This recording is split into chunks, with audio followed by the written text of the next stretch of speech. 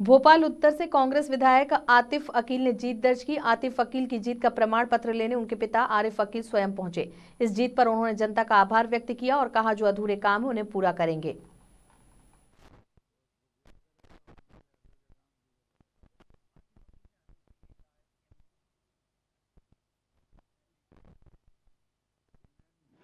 वो कसौटी पे खरा उतरेगा, जो भोपाल के लोगों ने उसको ज़िम्मेदारी दी है।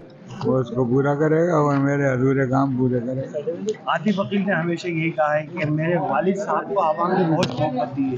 मोहब्बत दिख भी गई अब हम अब क्या प्राथमिकता रहेगी इनकी पूरी विधानसभा को लेकर? उसी मोहब्बत को मद्देनजर रखते हुए जो काम कर सकते हैं वो काम करेंगे। ठीक है।